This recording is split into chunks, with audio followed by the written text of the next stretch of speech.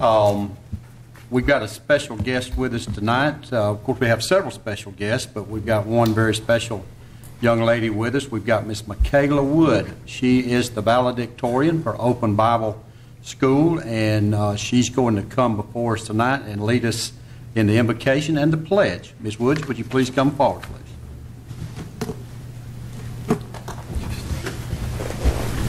Please stand.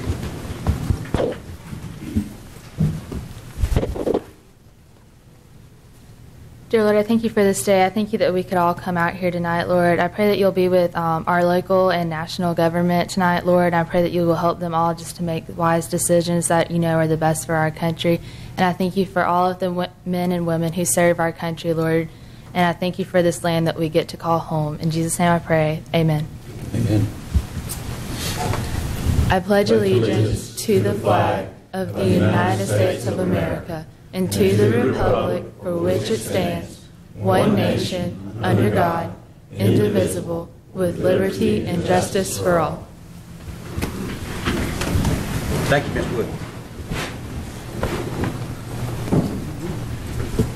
We also have